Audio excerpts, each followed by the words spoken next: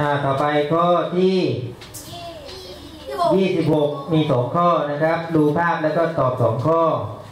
ในภาพเป็นอะไร เด็กกำลังทำการบ้านเลยทำการบ้านและดูทีวีกันอยู่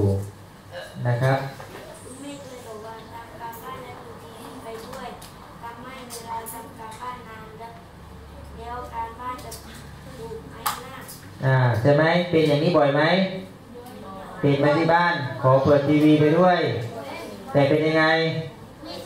ไม่เสร็จเพราะว่ามัวแต่ดูทีวี แล้วการบ้านก็เป็นยังไงถูกหรือผิดอ่าข้อ 26 ใครตอบ3กับ4ครับยกมือ ไม่ถูกต้องใช่ไหมใครตอบ1กับ2ถูกต้องเอามือลงตกลงยายหรือแม่กันแน่เนี่ยยายนะครับ ใครตอบหนึ่งยกมือใครตอบสองยกมือใครตอบสามยกมือใครตอบสี่ยกมือใครตอบหนึ่งยกมือข้อหนึ่งคนที่ตอบหนึ่งถูกต้องครับ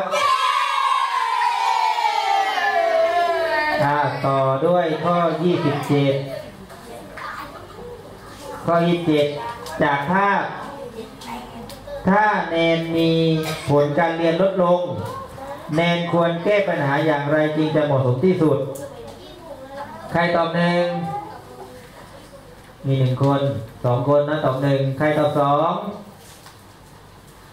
มีสามคนใครตอบสาม